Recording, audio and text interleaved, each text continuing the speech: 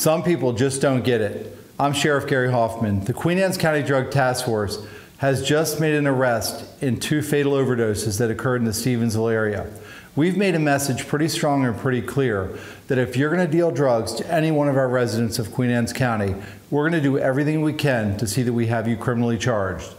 Special thanks to the men and women of the Queen Anne's County Drug Task Force, who, as everybody within our county, are taking this very seriously. If you're a user of opiates or have a substance abuse issue, we can help you.